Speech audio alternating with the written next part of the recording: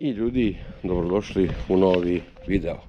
Kao što vidite po samoj, opa, po samom nazivu kanala, danas radimo pranje zafire i pripremu za tehnički pregled. E, u principu, unutra sam je usiso maksimalno. Malo ovaj, ovaj gumeni deo ovdje nisam prebrisao, ali svuda je sređeno, sve je vraćeno na svoje mesto. Idemo na detaljno pranje s polja, jer je baš od imanja i njive katastrofalno prljava. Da je vratimo u neko sjajno stanje, jer vidi se da je, jest, znači baš je haos prljava i ovaj, nema ni sjaja ni ničega. Idemo da to odradimo, da to završimo ljudski i ovaj, kada se vratim da prekontrolišem signalizaciju, sutra naravno da neke delove pokušam da snimim jer imam unutrašnju kameru na Zafiri, da snimimo jedan deo ako možemo, naravno blurovat ćemo ljude ako budemo uspeli da snimimo. I na kraju da vam kažem neki zaključak i da li je bilo nekih promjena, opomena i slično. Znači u principu ništa specijalno, idemo lagano, idemo tu na jednu perionicu, iako imam kompletnu hemiju koju sam skoro uložio nekih 100 eura ovaj, u celu priču, a to je, ajde možete i ovdje da budete, A, što se tiče dosta hemije sam uzeo titanijuma, eto mala reklama za njih, četkica sam naručio i svega ostalog, međutim ovaj, imam i kerker i svašta nešto, međutim zbog ovdje mi nešto čenavlja, što ne bi trebalo da čenavlja. A, sam uzeo i hoću da nisam stigao sa time da je operem svakako mnogo lepše nego na perionici ovaj, jer imam obaveza na poslu i tako dalje i tako dalje. E sada, znači da se razumemo, e, može i na, ovaj, sam uslužno je da se lepo opere auto, ali samo gde ima vruće vode i gde ima jako lepe pene. Naravno nema foam, foam ganova sem na pojedinim perionicama.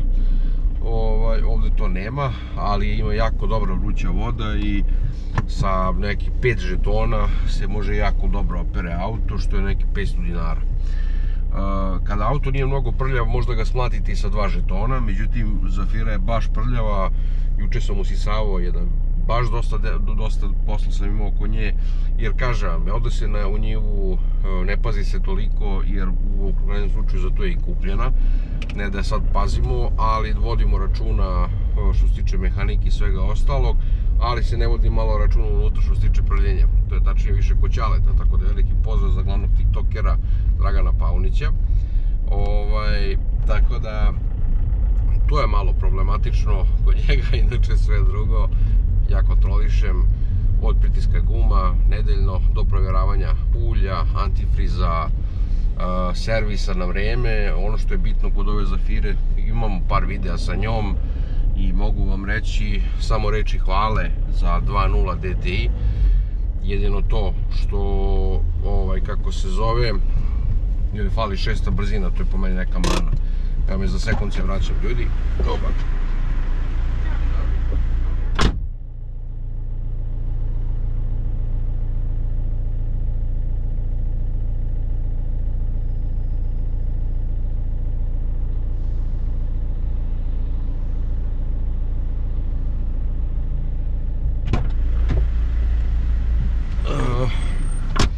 Jedno vreme smo hteli, hajde da kažemo, da je prodamo.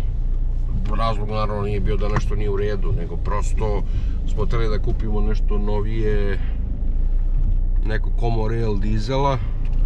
Međutim, ipak smo odustali. Zašto? Zašto Kevi Čaletu odgovara za Fira za odlazak u banju. Zaista dosta stane stvari. Također kad idu na Zlatibor, ovaj, svašta nešto može da stane u nju. Na otvorenom putu nije neki potrošač do 6, 6,5, 7 litara maks. Zimi 8-9 troši, po gradu ipak je 2.0, teška je i ono što kažem jako važno, fali joj 600 brzina, da ima 600 ta potrošnja bi pala za ceo litar. Međutim, ovo je jedan od onih Opelovih motora koji se više nikad neće napraviti, a to je 2.0 DTI. Ovaj, I ispitana je već nekoliko godina kod nas, apsolutno nikakvih ulaganja nisam imao u nju ili problema, znači skoro je servisirana klima za pred leto, promenjeno ulje, promenjen gas u njoj. Ovaj, kako se zove, ulje, filteri naravno, ovaj, što se toga tiče i to isključivo kupujem, ako me dosta ljudi pita, e, ko je ovo, ko je ono, ja dosta za nju kupujem uh, ovu polusintetiku za nju kupujem, jer to kaže fabrika i GMO ulje. Ja u nju stavljam i kupujem ga u Automisu. To je prodavnica Opel Autodelova, isključivo tamo kupujem, ne idem ni na jednu drugu stranu, znači samo isključivo tamo kupujem. Samo da preletimo čas ovu zabranicu ovde, izvinjavam se, to. Imaju neke radove ovde kod nas, pa e, to je to. Na njoj je trenutno 183.000 kupljene sa 145.000 uredne na Car Verticalu i zaista malo prešla, nije izakana, nije pojedena, ima četiri nove gume na njoj i sad smo skoro radili po prvi put pre jedno par meseci komplet kočnice zadnje prednje i promenjen je zadnji, prednji desni ležaj točka. Eto, to su neke, da kažemo, ne mogu ga nazvati ni kvarovi, jer to spada u redovno održavanje leže ne može da traje 100 godina, a druga stvar, pločice i kočnice, mogli smo samo sa pločicama da prođemo, međutim nisam teo da obrađujem diskove, već smo isključivo i njih promenili i kompletno je znači servisirana, tako da nemam apsolutno sumnje da će proći tehnički pregled. Ovaj, ali ovaj, uvek je onog pred tehnički narod ima neki stres. Ja nemam apsolutno nikakav stres, ja znam da je na gasovima, na izduvnim gasovima perfektna godinama već, ovaj, jer se redovno i na duže relacije izduva, obzirom da vrlo malo kratkih relacija ona ima. Mesec dana ima kratkih relacija u toku godine, dok ostatak se isključivo vozi po otvorenom putu, Ibarskoj, autoputu, odnosno kad god se ide na odmor da se tada najviše koristi. Ne računam ono, e, idem do familije, par kilometara, ovo ono, to ne računam, ali ona, eto sad kad krene sezona, mesec dana je malo tu po lokalu, posle toga je sve na otvorenom putu i ovaj, zaista se jako dobro ponaša. Volim njen zvuk, malo je bučnija inače nego Ford i ostali automobili, ali dobro, bože moj. Što se tiče tehničkih, ono što savjetujem, jeste znači da proverite kompletnu prateću obaveznu opremu, proverite znači da li sve sjelice rade, odnosno kompletna rasveta na automobilu, auto mora biti čist, opran, iznutra ne mora koga boli uvo, ali ja sam i to uradio i takođe znači mora da bude opran s polja, ovaj, to su im neki uslovi. Takođe gde vam se nalazi broj šasije, potrebno je da to bude sve pristupačno kod Zafire to ili sa strane na stubu ili dole kod sajtne vidi se iznutra i takođe broj motora kome mora da bude pristup kakav treba upravo da bi sve moglo da se prekontroliše prilikom e, tehničkog pregleda. Stižemo na perionicu, ja ću vas malo staviti sa strane, malo ćete iznutra gledati, pa eto to je to. To je to, stigli smo, Evo, vi ćete iz ovog ugla malo da gledate, sekunda jedna dok ja razmenim e,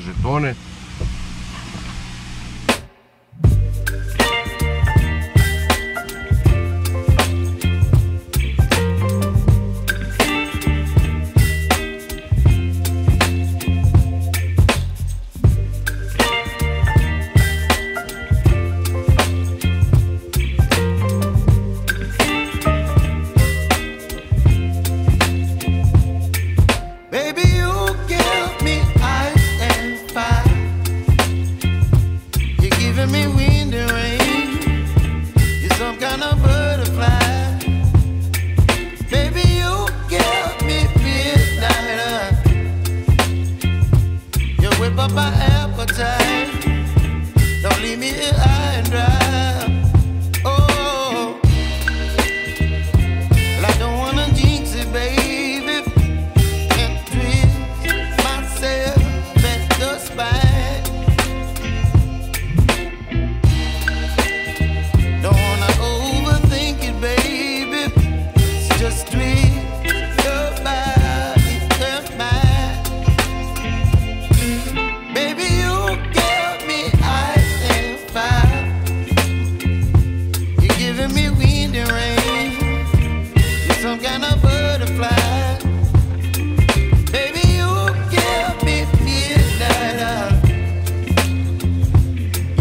my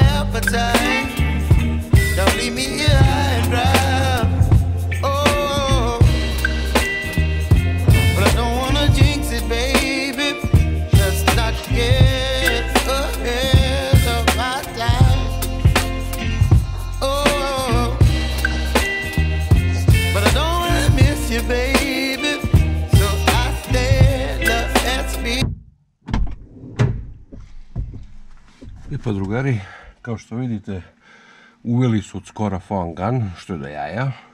Sačekat ću minut dva da pena odradi svoje. Krećemo sa ispiranjem, voskiranjem i u principu je to to. I evo je drugari, bukvalno je kao nova. Kad se auto izvoskira, kad se opere, pogledaj. Četiri žetona, jedan sam poklonio devojci s druge strane, jer ona pere dačiju. Mnogo mi je peti, eto, mali gest, čujete, veliki pozdrav za nju. Znači, oprana je, sad samo da je proteramo malo žešće jer je ujedno i voskirana, ajmo ko stevu žigon. Juba! I idemo sada da je malo proteramo žešće jer je voskirana. Pa da malo spadne s nje ova voda i ovaj da to deluje drugačije.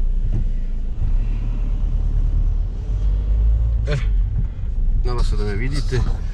Oprali smo je, boga mi je bilo žestoko prljava, pogotovo iznad točkova. Bilo je gomila blata ili ovih dana padala kiša. Drugari, spozor ovog videa je dobro poznati armytechstore.d. U opisu vam je prvi link uz kod Paunić imate 15% popusta na kupovinu lampi, što za voće, što za šarafanje, što za mehanizaciju, što za avanture ili bilo šta. Prvi link čekirajte, imate svašta na njihovom sajtu da kupite, uglavnom proizvode lampe sa dometom od 250 do 750 metara, tako da nemoj da propustite. Tu nam je i dobro poznati Car Vertical, imate u opisu 20% popusta na provjeru automobila po šasiji, a i dobro poznati ako hoćete inkognito po netu da surfujete, da skidate torrente, da gledate Netflix full otključan, tu je dobro poznati Surfshark VPN i uz kod IMT imate 83% popusta i 3 mjeseca fraj. Ajmo na video. Njivi je bilo blato, ispod sam ga oprao isto takođe, oko rezervnog točka, pošto Zafir je rezervni točak pozadi, obavezno neka mi to bude na pameti, da vam i to bude naduvana guma. Ovaj, kako se zove, šta se desi? Desilo se, evo igrom slučaja, priča, čovjek je zaboravio na tehničkom da proveruje sve gume, iako im je to po proceduri, verujući vlasniku naravno posle tehničkog čekala policija, bam, kontrola, zatvorit će čovjeku tehnički. Znači nemojte da, da vas mrzi pred tehnički, nemojte nikad čekati zadnji dan. Ja pranje sam čekao zadnji dan, jer ne želim da se isprlja, ali uvek čekajte, uvek pa par dana ranije provjerite sve, dan pre tehnički provjerite pritisak u gumama, prvo olakšavate ljudima posao, drugo vi ste sigurni ukoliko zaboravi da ne bude nekih varenih tehničkih ili problema, ne želim da niko ima probleme jer svako treba da radi i ljudski je odraditi nešto svoje, ipak ste vi vozač i vlasnik auta. Naravno, prva pomoć, ključ za točak, dizalica, ovaj, mislim da silice više nisu obavezni da opreme pa to ne morate, ali sve ostalo proverite. Eto, malo je spala voda sa njega, ne, ne mogu da ga razvučem jer ovdje je sad gužva, rade neke radove, tako da vam je to ono, boga bi sam se preznojio nekih 15-20 minuta sam ga prao, jer 3 minuta vam traje žeton. Moram vam slobodno reći da su uveli foam gun što je do jaja. Znači pustite foam gun, odradi 2-3 minuta pena, saperete ga i GG što se toga tiče. Ehm, u principu, e, e, također, ne znam da li toleriš, opet kažem, za neka pravila sam se ranije interesovao, sada ne, snimao sam ovakvu vrstu videa, a to je da trebate da provjerite da li ne pali neku grešku na tabli. Također, ne znam da li gledaju katalizatore, EGR ventile, DPF-ove i kurce palce. E sad, ukoliko se desi da ste ipak izvadili, pošto hm, u većini slučajeva se pokazalo da kad se auto izvadi mnogo bolje ide i manje truje. Jer ona sranja samo zapušavaju ovaj, sve to, ili ko mora zbog problema, a nema kintu da kupi drugi imate varijanta prilikom bušenja katalizatora da vam se izbuši iz lonca ono saće, a da fabrički lonac sam po sebi ostane. Naravno to se može provali da li ga ima ili ga nema, ali moj savjet je da to ne radite, već da kupite bar na tim otpadima ili na ovim, čuo sam da ide 200 do 250 evra katalizator, što nije mnogo, a opet ste mirni stotina hiljada kilometara i ostalo. Znam da mu to začepljuje, ja sam totalni protivnik toga, jesam za ekologiju, ali sam totalni protivnik gušiti auto po, jedinim stvarima, jedi govna, ovaj, ali, uf, familija, dobro me nije vidio. Ovaj, ali sada se radi šta je tu je.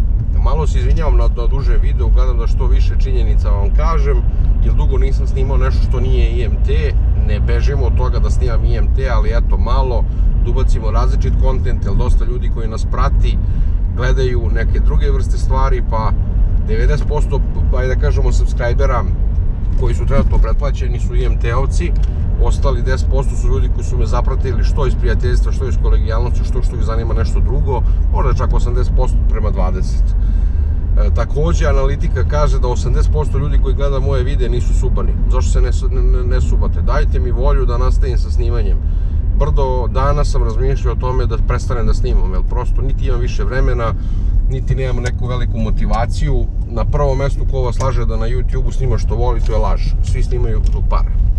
Dakle, pare su motivacija za sve, pare vrte deburgija neće i to je to. Znači, kad zarađujete dobro, što bi nešto prestali da radite ako, ako, ako dobro zarađujete. Ali uglavnom, nije tema ovog videa, završili smo pranje, vidjet ću da ću sad, ovog trenutka da sačekam da iskontrolišem sjelice i time smo završili pripremu, sutra 10 do 10 da smo na tehničkom, probat ću da snimim sve što bude mogao, na kraju damo neki zaključak, ovaj, i to je to. Stili smo kući, auto u ladovinu da ne bi ostale ove od kamenca, mada sam ga saprao ovom nekom drugom vodom, ne bi trebalo da bude problema. Ovaj, idemo u ladovinu. Opa, tu ste. Opa. I u principu imamo oba, sve je tu, ajde ima radi pozicija kada smo već tu. Radi radi. E sad ono što je važno, lako je provjeriti migavci, ali ako vam jedan migavac ne radi... Ćale, radi migavci? Levi radi. Radi. Pozicija? Radi. Oba? Da, da. Kočnica? Radi. Magla? Koje, koje treba da bude to? Pa jedna od... jednu... Dole, levo, crveno. To je normalno. I...